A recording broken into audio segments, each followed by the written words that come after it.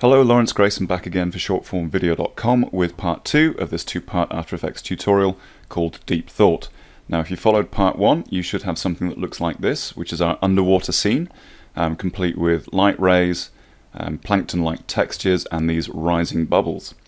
Um, in part two, as I promised, I'll be showing you how to use the lens blur effect with the depth map.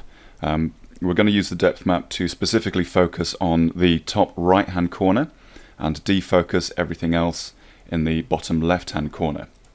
Now depth maps can be really really useful with the lens blur effect, particularly if you're looking to uh, create that bokeh or blurred background that you uh, you'll probably find difficult to achieve with a consumer grade um, camcorder because they have a notoriously long depth of field. But I'll probably cover that in more detail in a future tutorial. For now we're just going to uh, create a selective depth map to uh, apply some specific blur to this project. Now the layer we're uh, most concerned with is the uh, deep blue background which we created before with our four color gradient and our CC snow which is the uh, rising bubbles that you can see here. If I go back to the preview I created earlier as you can see the particles are in fairly sharp focus towards this side they're also blurred out considerably on this side with that kind of lens blur effect. So how do we achieve that? Well, it's actually quite simple, but uh, I'll just reiterate the warning I, I, gave you in part one, which is the lens blur effect, particularly when used with a depth map, is uh, particularly processor heavy. So do be prepared for some long render times when you apply this. So select your deep blue background, go to your effects and presets panel and type in lens blur and drag the lens blur effect onto the background layer. Now the instant default settings will actually blur out everything as you can see here. Um, but obviously we don't want to do that specifically. We want to uh, selectively blur some things. So we're going to create our depth map now. And we do that by right clicking and creating a new solid. Doesn't really matter what color you make it but we'll just make it white and call it depth map. And hit OK. I'm going to go to the Effects and Presets panel again and find the ramp effect and drag that onto our depth map and you'll get this which is a basic black to white ramp um, running from the top to the bottom. Now a little bit of an explanation of how the depth map works in this instance. We're going to be setting it to work off the luminance value, so basically the brightness.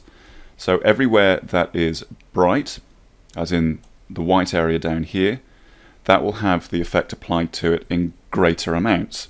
Everything that's dark will have less effect on it. So I'm just dragging the uh, start of ramp and end of ramp position indicators. So I get this nice diagonal ramp with dark up at the top right and bright down at the bottom left. Now the next step, and this is one that catches out a lot of people when they're using depth maps for the first time, particularly with this ramp, ramp technique, um, you need to pre-compose this layer. If you don't, when you apply the depth map to it, all it'll see is a white solid. If you pre-compose it, then it'll look at the composition as a whole with all the effects added to it and, and work out the uh, depth values from that. So uh, select your depth map, hit Control Shift and C to bring up the pre-composed layer. Just rename it to depth map pre-comp. Make sure you move all attributes into the new composition and just hit OK. Now another thing we can do is just drag the depth map down to the bottom and uh, turn off its visibility because it doesn't actually need to be seen in order to work. Now when we go to the deep blue background and the lens blur effect in the effect controls panel we can select the depth map layer, depth map precomp and instantly you can see the effect has changed. Because it's dark on the depth map precomp up in the top right You've got these points which are in sharp focus and anything towards the brighter part of the screen gets gradually more out of focus. And that's pretty much what we're after.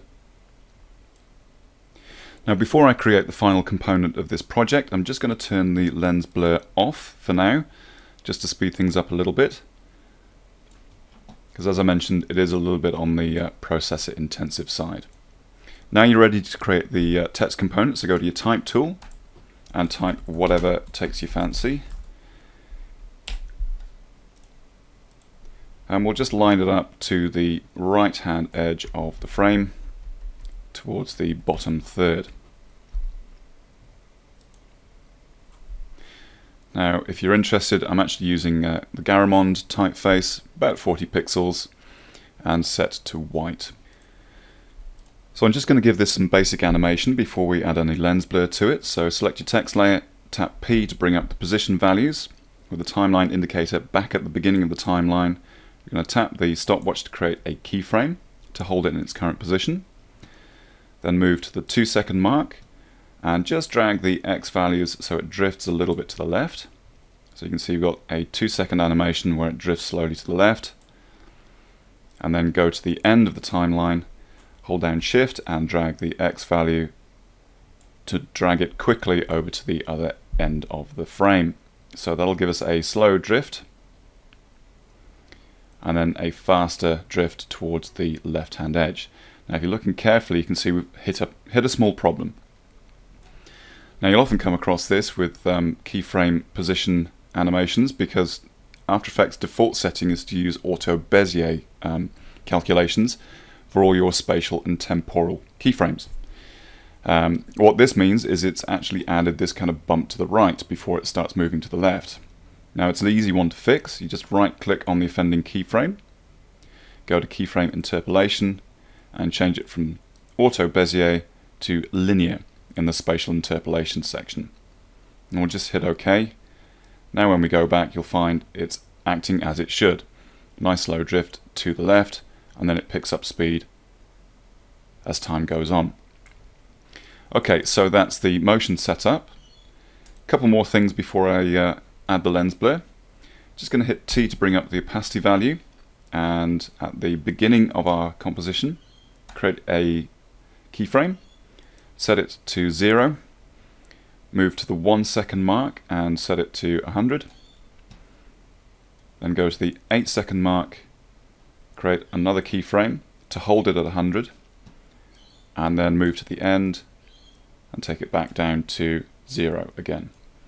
So when you put all that together, we'll get a slow fade in with some nice drifting text. It'll slowly pick up speed as it moves across the screen, and then when it hits the 8 second point, it'll slowly fade out. Final thing we're going to do is go back to our deep blue background, re-enable the lens blur, hit Control C to copy the lens blur, and just paste it onto our deep thoughts text. I just want to make this a little bit more subtle, so I'm just going to drop the iris radius down to about 8. And that will actually reduce the amount of blur that's added, which means that our first part is actually quite visible. And as we get deeper and deeper into the lens blur depth map, you'll find it gets blurrier and blurrier. So that's about it. You're ready to render. So I'll just uh, hit Shift and uh, Zero, and uh, I'll see you after the break.